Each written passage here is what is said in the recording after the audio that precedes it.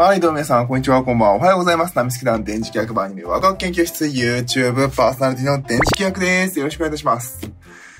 はい、えー、時間がないのでサクッといきましょう。現在、えー、7月7日、七夕、えー、七夕ラプソディですね。ツイッター上にね、あのー、春日のね、ネタが流れてくることが大変あのー、懐かしいなと思ってしまいますね。もういい年になってしまいました。はい、ということでね、えー、現在22時29、49分。仕事がさっき終わりました。テレワークってダメですね。永遠できますね、仕事。はい。でね、まあそんな間にね、えー、楽しみにしていた、おっと。えー、馬娘の、馬4のアニメも終わってしまいましたね。まあ、うちテレビないから見れなかったからいいんですけどね。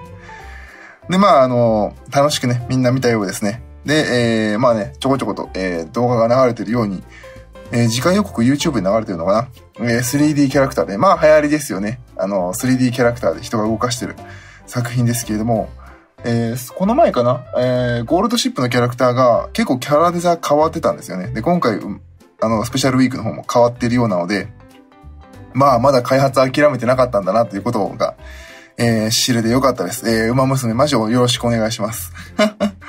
始まった当初はボロクソに言ったけど、申し訳ありません。あの、面白いので、お願いします。ということで。あとは時代だなと思ったのが、やっぱこうです、こうですね。あのー、主題歌。なんかあの、要するに、あの、まあ、馬、娘の馬4っていうのが始まったんですけれど、まあ、要するにあの、シンデレラガールとかのアイドルマスターのプチマスとかなんですよね。シンデレラガールズ劇場とかね。バンドリのあの、ガルパピコとかああいう系ですよ。確か作ってる人も一緒だ、一緒だったような気がするんですけど。まあ時代だなと思うのが、もう早いですね。7月8日、もうあと2時間ぐらい。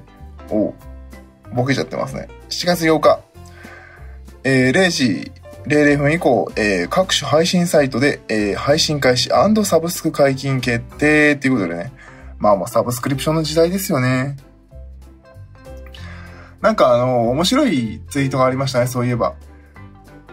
サブスクリプションの時代になって、えー、楽曲が開始5秒で、えー、どんな楽曲が伝わるように作るように変わっていると。えー、そういう風にね、時代の変遷があるっていう。まあ、それがいい悪いとは書かれてなかったんですけれども、まあ、それはそうだよねっていう感じをしますね。か、まあ今までもそういうのはあったしね、逆に言うともうサビだけいいっていう曲もありましたしね、昔だと、ちょっと前だとさ、あのタイアップに使われる部分だけかっこよければいいみたいな。がっかり残念アニソンとかもありましたもんね。全部聞いてみたらなんじゃこりゃっていうね。懐かしいな私がすぐ思い浮かぶなんじゃこりゃと思ったアニソンはですね、異世界の聖騎士物語という素晴らしい OVA 作品がありましてね、そちらのオープニング超かっこいいんですけど、フルで聞くとなんじゃこりゃですからね。ぜひチェックしてみてください。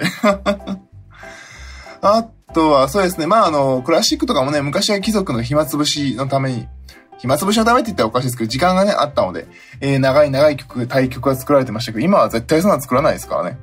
まあ、時代に即して音楽とかも変わっていくんでしょうけどね。まあ、馬娘はその流れでね、サブスクリプションの方で、えー、聞いてもらっていこうという流れのようです。まあ、あとはね、あのー、事前登録受付中という話がまだ出たそうなので、あのー、サイゲームス諦めてないんだろうと。まあ、おそらくは、9月決算でね、その後に発表する年末に発表じゃないかなっていう気は、えー、しております。まあ、もちろんね、9月までに出していく、アニメやってるうちに出してくれるのが一番だと思うんですけど、えー、楽しみにしたいと思います。はい。えー、ごめんなさい。時間もないので短くさせていただきました。あ、最後に、水木奈々さんご結婚おめでとうございます。まあもう、正直な話、もう、別に声優さんが結婚してるしないで正直どうでもいいんです。どうでもいいっちゃどうでもいいんですけどね。はい、えー、ということで、えー、このチャンネルはですね、二次元の面白さを語り合い、知っていこうテーマにパーソナリティたちがそれぞれの視点で見たアニメの感想を語り合い、新たして思ってもっと楽しくアニメを見ていこうというラジオ番組の YouTube チャンネルになっております。まあ、よろしければ、グッドボタンとチャンネル登録よろしくお願いいたします。それでは、バイバイ。